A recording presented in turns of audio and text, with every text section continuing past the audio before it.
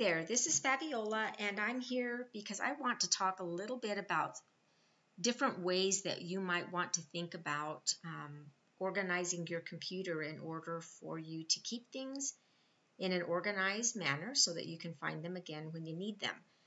So I'm primarily speaking to people who are digitizers or people who are sewists or quilters. Um, in particular, digitizers is um, my target audience because we tend to download and purchase lots of designs off of the internet and many people can never find their things again. I have discovered that in my classes that I teach that I've got lots of students who just don't know where all their files are at because they've never come up with a nice logical way of organizing things and being able to find them again when they need them.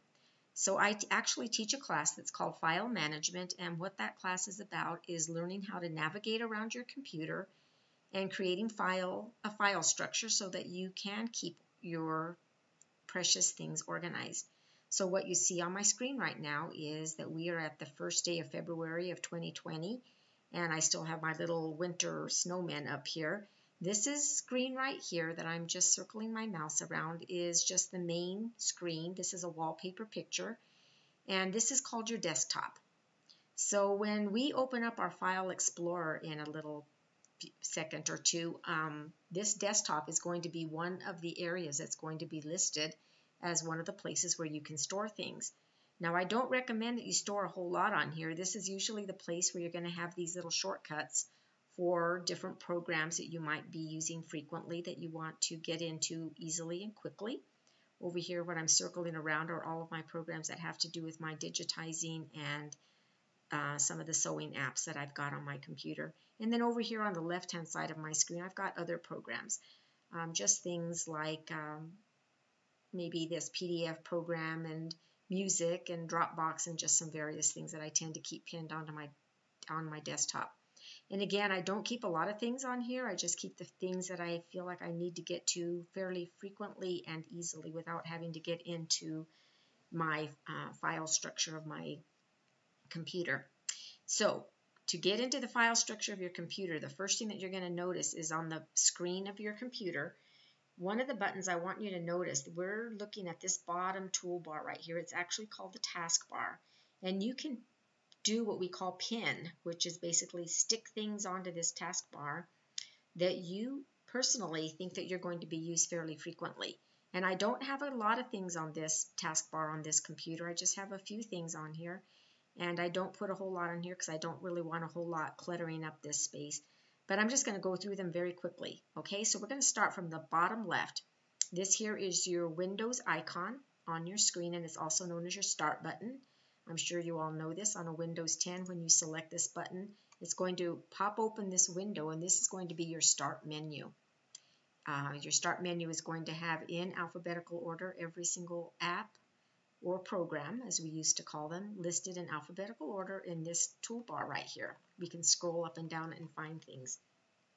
In addition to that one of the things that uh, this Windows 10 and I believe this started back in Windows 8 is that we've got this other little section in which we can also pin frequently used programs in this section so that we can find them easily if we want them. Um, some of the things are on here by default because Microsoft decided that they wanted them to be here for us. But one of the things that I want to take a look at quickly, excuse me, need to clear my throat, is this settings button.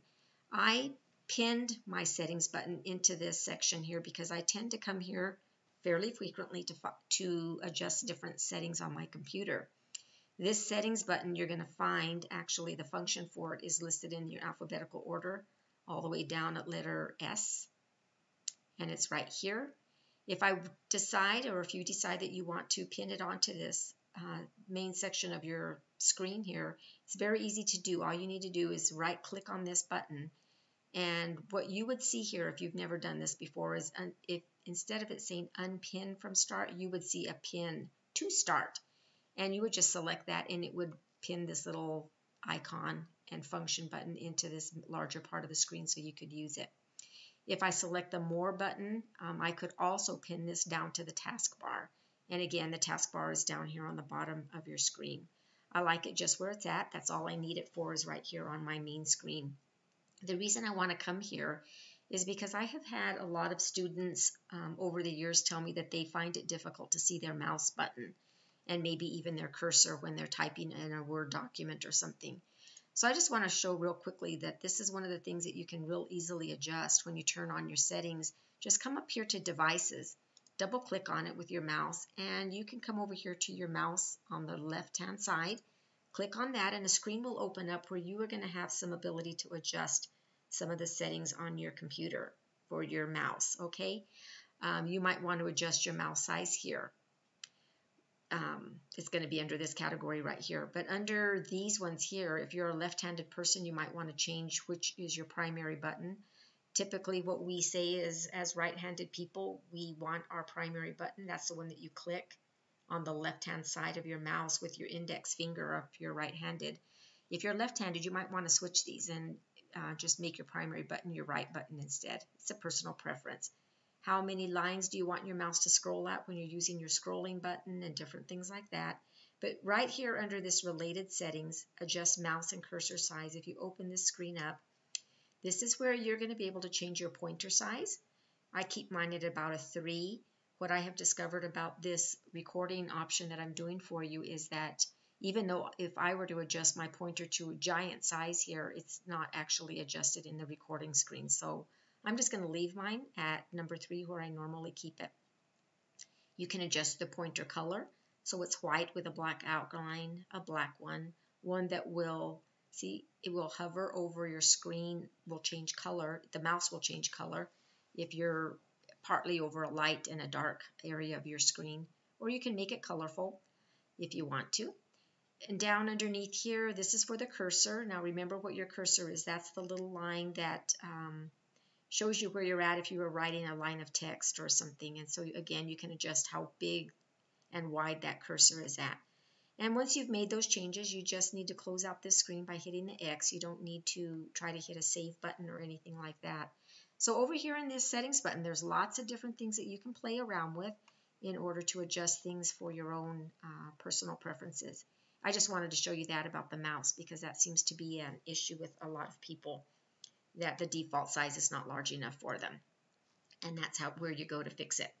Okay, so underneath here, as we look at our taskbar, this is a searching button where you can put your cursor and you can type in um, something that you can't find or want to have help with finding on your computer. This is Cortana. Cortana is a little uh, help me out kind of button. It's sort of like ask Google or asking Siri on an iPhone. It's that same sort of function. This one here is this task view. If I select task view, this is going to give me some opportunities to change some things on my uh, desktop if I wanted to. I'm not going to mess with any of that. Here's my Word icon for my Word, Word program. This here is the button we're going to be talking about specifically in this video. This is your File Explorer button. This is the Microsoft Store button here. Next, we have Edge Mail and the Edge browser, and those came with Windows 8 and Windows 10. It is the default browser that Microsoft would prefer for us to use, but you don't have to use it if you don't want to. And you don't have to use their email program if you don't want to. I personally do not. I prefer the Google Chrome browser, and there are other browsers that a person can choose to download and use on your computer. Firefox is very popular, and there are other ones also. Um, I just have some uh, personal preferences why I prefer to use Chrome over Edge. Okay, uh, the one thing I want to make to mention at this point is that do not try to install an old version of Internet Explorer because that is no longer supported by Microsoft and they do not monitor it to make sure that people are not planting viruses and that kind of thing. So don't use Internet Explorer. And the other thing I want to say about Internet Explorer is it is not the same thing as File Explorer. File Explorer is the ability for you to navigate around inside of your computer and find your file structures and your pictures and all of those kinds of things. So they both use the word Explorer, but they're entirely different things. Okay, so don't get them confused. Lots of my students do get them confused. And the last thing that I have on my taskbar down here is my snipping tool. And we'll talk about that in a little bit, um, possibly if I decide to make time for it. So my purpose today really is to show you about the File Explorer because this is the thing that many uh, people who are new to computers or are new to embroidery and trying to learn how to use a computer in regards to embroidery are a little bit confused about. So how do you get there? You just automatically click on it with your mouse and it opens up this screen. So you are going to be able to um, use this as your navigation. What we call navigating around in your computer means that you're moving around in your computer and finding things, exploring, like the explorers did when they navigated the world in their sailing ships a long time ago, right? So we look at our screen here, and I'm looking at the left-hand um, access bar, this navigation bar. This is a tree structure, what we call a tree structure, which basically means that there's our main branches. And if you select some of these arrows, what they're going to do is they're going to open up branches of things so that we can see further down into other levels of our computer. So one of the things that I like to describe to, um, in particular, women in my classes is that you have to keep your things organized, otherwise you're not going to be able to find them. And one of the ways I like to describe a tree structure is it's kind of like having a dresser or a chest of drawers in your bedroom in which you store your personal clothing. This is like the entire chest of drawers. And all of these little sections are drawers that are within your chest of drawers. You can open up one of your drawers, and within your drawers, you're going to find different things that you have placed in there so that you can find them again. You might have a sock drawer, you might have a pants drawer or a t-shirt drawer, etc., etc. And it's just a way of keeping your things organized. All right. The other way that I like to describe that is the reason why you want to keep your drawer, you want to create drawers or folders within your system here is because when you do your laundry, you know, ladies, you probably don't typically leave all of your clean clothes in the laundry basket, just all mixed up there. Um, most people don't anyway. Um, you probably take your clothes out of the laundry basket when they're ready to be, they're all dried up, and you're going to fold them up and you're going to put them in the proper drawer so that you can find them when you want to wear them. It's the same kind of thing with your file structure of your computer. You've got a main storage place, and within that storage place, you've got little pockets or folders in which you can put things so that you can find them again. And you can create folders, as many folders as you need to, and you can create folders within folders so that you can keep things organized. Okay, so if we look at this, this is one of the things that came along here that kind of confuses some of my people. First thing that you're going to see in this list is called quick access. You'll also notice up here in the pathway bar that it also says quick access. I just want to mention here that if I click on this arrow here, I can expand this menu and what I'm going to see is a whole bunch of things listed here. These little, um, they're like little push pins right here. These are things that have been pinned so that they show up over here in this list. So this quick access list that I am running my cursor down right now, everything that's in this list here, you're also seeing within this section right here under frequent folders. There's a desktop folder, a desktop folder, a download folder, a download folder, documents, documents, pictures, pictures. Those have all been pinned so that they are right here in this quick access. And then underneath here, these are the last four places that I personally um, was working or storing things um, with things that I, projects that I recently have been working on. So I typically keep my quick access not expanded. I click on this little arrow and I close it down because what would have been here I can see here and I just don't want all the clutter necessarily showing up here in my left-hand taskbar. It's up to you what you want to do about it. But continuing on down, um, underneath here, underneath this PC, PC means personal computer, are going to be some um, apps, and they're going to be the different storage places again. So again, you're going to see the same desktop here that you see up here, the same document folder here that you see over here. So I don't want you to get confused. This is just one of the things that they call this is a library, is what I believe they call this system over here on the left hand side that Microsoft has created for us. And it's just a way to get to the same places, but two different ways to get there, either by clicking on it here or clicking on it over here. Okay, so I hope that that makes sense to you. These are built-in folders that the computer came with. Your desktop is a folder, and that was what we were looking at a while ago where my little snowman picture was at. Your document folder, download folder, this is a kind of a temporary place that uh, you can put things or that things might want to go into when you're downloading off the internet. We're going to explore that in our next session of this video series. These are all built in, so you're going to have a music folder, pictures, and videos. In addition to this, you're going to have this Windows C drive. Now, your Windows C drive is where all of your program files and other important things are also at. So, um, for example, because we are digitizers in our class, one of the places that we sometimes need to get into to um, maybe check files or do something is going to be in that program files times 86. If you are an MBX digitizing program user, you're going to find your folder right here under digitizer. You can click on it and then there's digitizer version 5 embroidery software. That's the program that I run on this one. Some of us are Hatch users. Hatch 2 it comes in further on down the list in alphabetical order under the Wilcom tab and the Hatch Embroidery 2 tab. Okay, and if I click on that, you're going to be able to see that it expands, and these are some of the folders that are within the Hatch Embroidery uh, program. So I wanted to mention that because the other day somebody said to me, I just don't know how to get into the Windows C drive and find the program files. Well, it's really easy. And I think this is probably a little easier than what I kind of remember it used to be on the old Windows 7. That's been a long time ago now for me, so um, I wanted to mention that to you. Within here, you are also going to, if you scroll all the way down to users, is it under this one here? Yeah, it's underneath here. You can see our users folder. If I select this folder, um, you're also going to find that this is one of the places where I could, again, my name is Faviola Martinez, and I might be able to come in here to this place and I'm going to be able to find some folders that are duplicates again of some of these things that are right here. So my documents folder that's up here, I can also get to it way down here in this list under FabEM under my documents.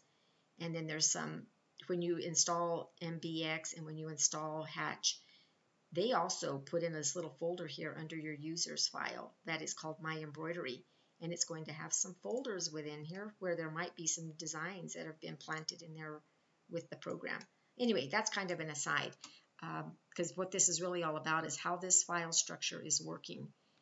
Okay, so if we continue to come on down the list, this is some um, important things for how this Lenovo computer runs. This is sort of a backup drive and different ways that drivers and different things work on this computer. I don't mess with any of that too much. This Fiona 1 says that it has a letter G after that. This is a USB drive that is currently in my computer.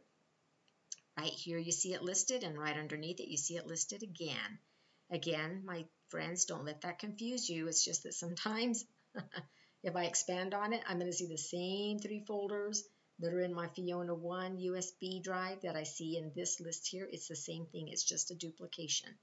So uh, again, just a different way that I could get to my Fiona. When I click on it, it also opens up in this screen and I am able to double click on it and see what kind of things I have saved within that USB drive.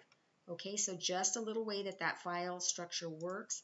Again, it is called a tree structure, which basically means there's a trunk and there's branches. And within the branches, there might even be little twigs. And all of those things relate to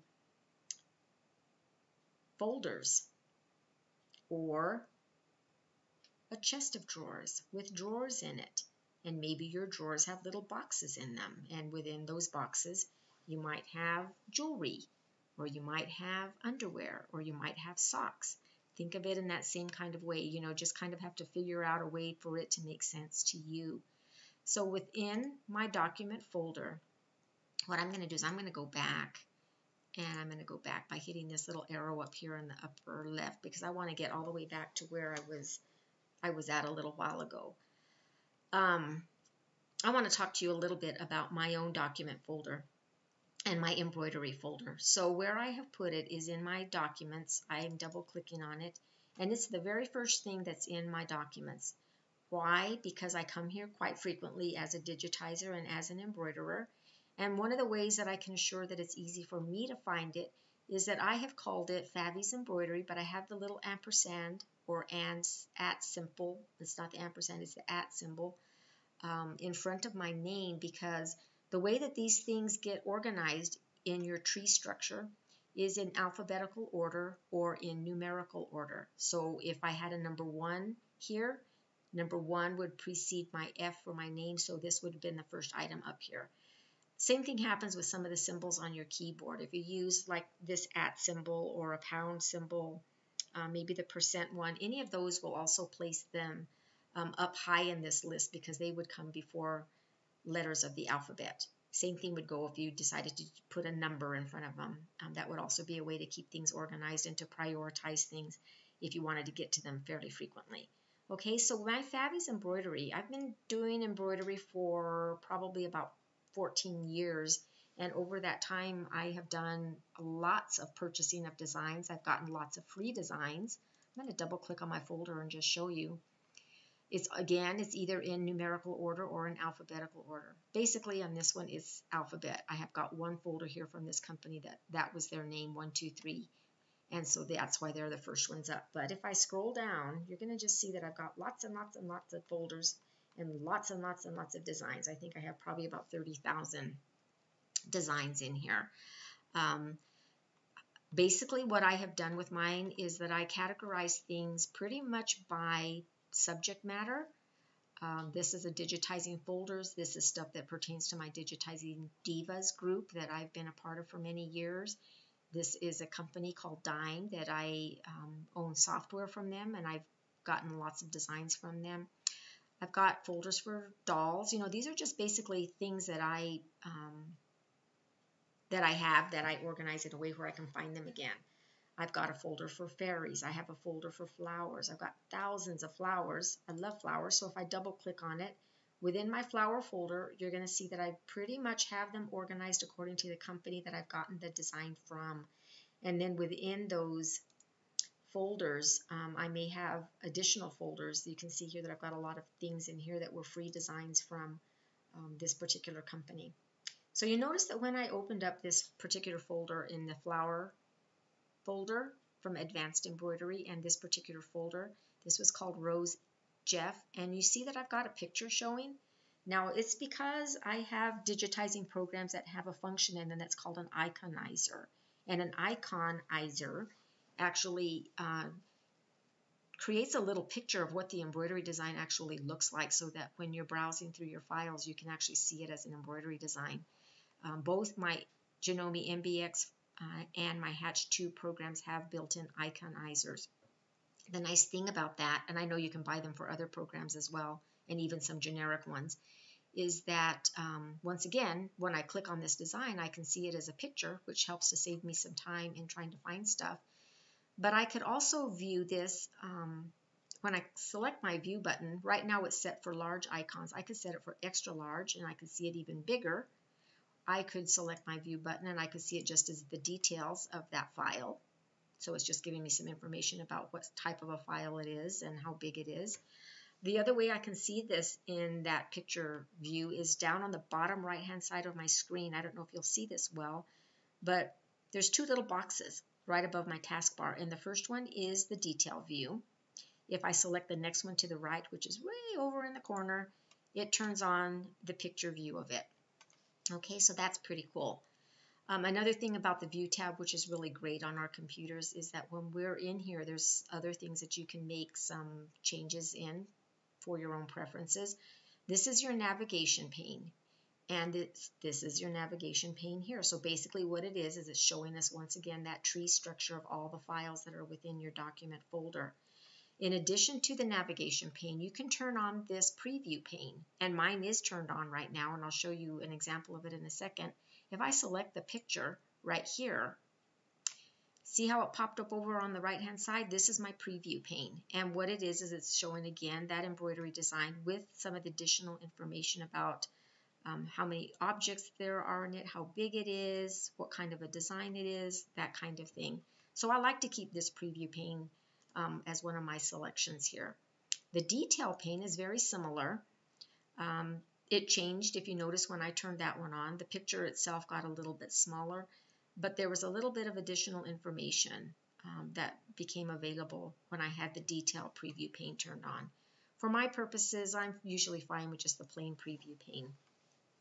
And so the other thing that will happen is I can also click on that PDF file and it It doesn't make it a whole bunch bigger than it was on the left-hand side, but you know, somewhat bigger. So just gives you an idea of uh, some of the stuff about that design. Pretty handy thing that you might want to keep turned on on your computer. Another thing that you'll find under the View tab here, um, different ways to view your list of things. Um, under the View tab, you will also find further over on the right-hand side that you can select this item checkboxes and you can have that turned on. And what that does is it actually puts this little box with a check mark in it to show that this is what has been selected. Now, to me, I I usually don't use check boxes. I, you know, it's just one of the things that to me is um, redundant. Lots of people like them though, and when you're in a big long list of things, sometimes that can come in quite handy to have your little check boxes turned on. Okay, so I'm going to turn them on just see what it does to this little folder here. So it's just appearing up in the upper left-hand corner, and I could check it and get a preview of that design or whatever it may be. Okay, so that's just some of the things that you can see within the View tab.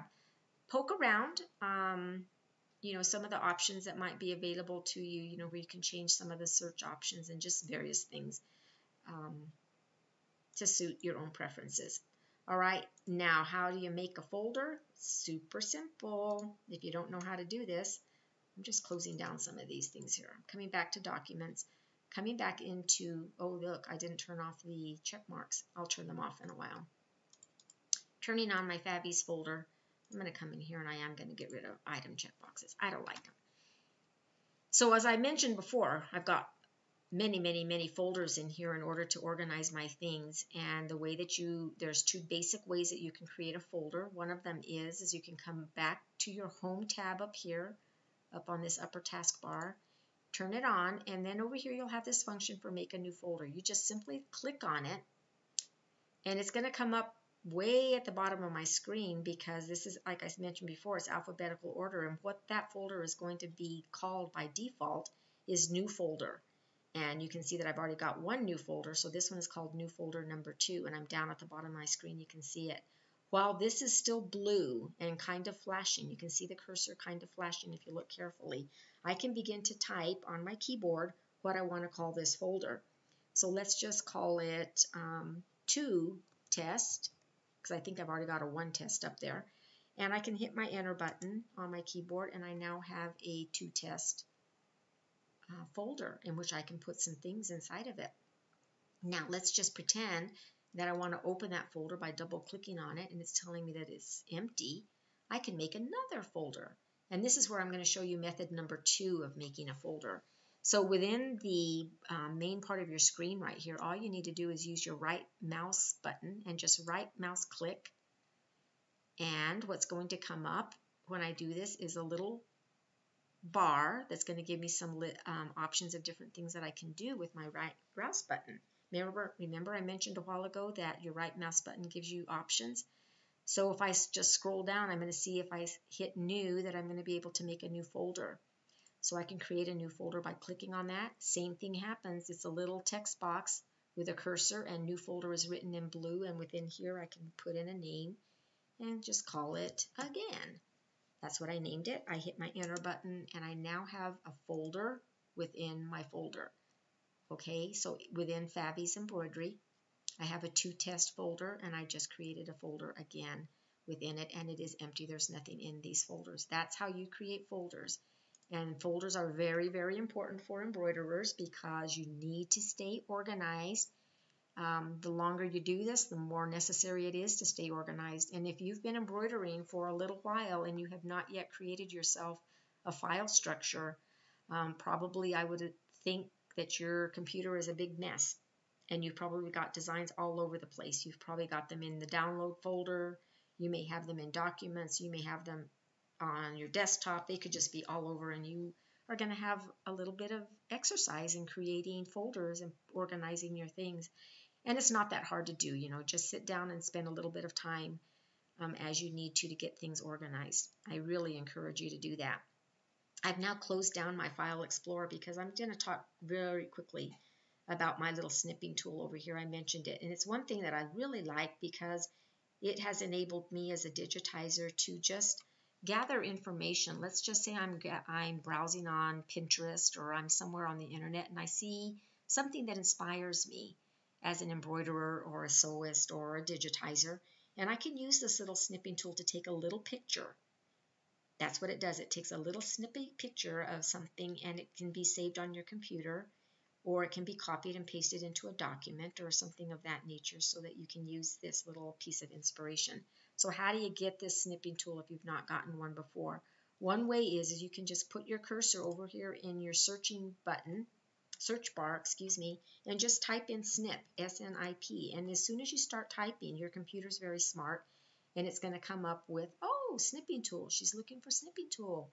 And over here on the right-hand side, I can say that I want to um, open the file location. So if I wanted to really find out where in my computer that snipping tool is, the app is at, I could find it there. But what I could do with it very easily is I could pin it down here to the taskbar like I did on my computer. Now mine says unpin from taskbar because mine's already pinned to the taskbar. I don't want to unpin it, but if you want to pin this snipping tool to your taskbar, I would suggest that you do it. That way it's handy and easy for you to use. So pin it to your taskbar and it's there easy for you to use, okay? I'm going to show you how I use it. I'm turning it on and the window pops open and I'm going to say that I want a new snip. So I select new. My picture, my wallpaper here got grayed out, which basically means that it's ready for me to take a little picture. Now you see the crosshair cursor on here. All I need to do is hold down my left mouse button and click and drag and I'm just dragging around that little snowman's face and I am going to save it. This is the saving button right here.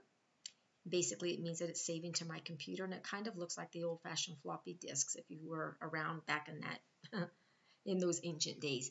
So I'm going to select that I want to save my picture and where it opens up this screen at was the last place that I saved a picture.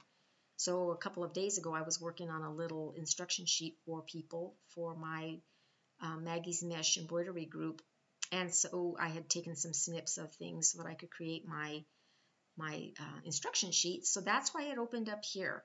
Now, if I didn't want to save this snowman picture here, all I would need to do would be to use my toolbar over here on the left-hand side of this window, and I could just navigate around in here, and maybe I would want to put it in my picture folder. And maybe I would want to put it in a document folder or something else. So you know, you would just choose where it would be that you would want to save this picture in the place where you can find it once again. It's always going to come up with the default name of calling it capture. So obviously I wouldn't want to call it capture because the next time I take a picture of something or a snip, again, it's going to want to call it capture and it would ask me if I wanted to call overwrite this if it was in the same folder. So I would just type in my name of what I want to call this picture. I'm going to call him Snowface.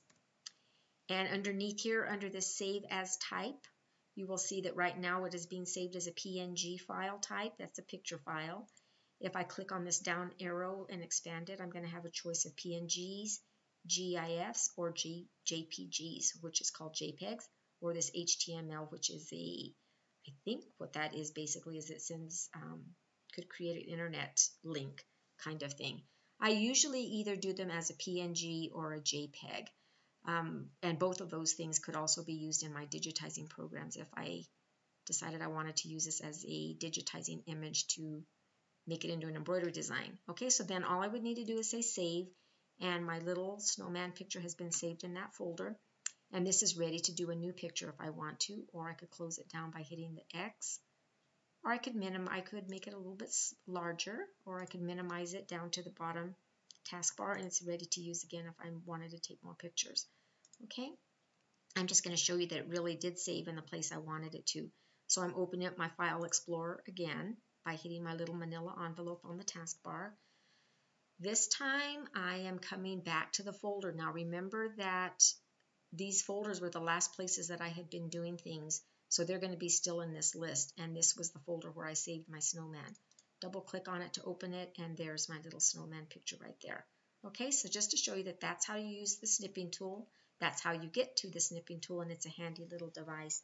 So I think that what I wanted to accomplish in this first video has been done, which basically was that I wanted to show you, um, first of all, how you might want to adjust your mouse if you felt like your mouse was not the right size for your own ability to see things. And unfortunately, in my recording program that I use, it doesn't adjust the mouse size according to what I'm actually seeing on the screen. Um, so I it didn't do me any good to try to make a gigantic mouse for you to see it because I experimented with that and I was disappointed that the recording device did not change it according to my what I was actually seeing. Anyway, I didn't say that to confuse you. I wanted to show you about adjusting your mouse and your cursor settings so that you have an ease of being able to see what you want to see. And then I wanted to talk to you about that File Explorer and just showing you a little way to get around inside File Explorer. I want you to become comfortable with it, create some a folder for yourself that's called your name with embroidery and then within there start making some folders of things that are pertinent to the kinds of designs and the kind of work that you do. Okay so I um, oh I tried to open something that wasn't there. So anyway I just wanted to cover that again with you. So the next time I make a video I believe what I want to do is I'm going to go onto the internet and we'll do a little bit of downloading designs and I'll show you my preferences for how I download and how I save things. And then extracting them. It's also called unzipping. So I hope that this little video was helpful to you and that I was able to inspire you to get your designs organized. And again, this is Favi or Faviola, and thank you a lot for watching. Have a good day. Bye for now.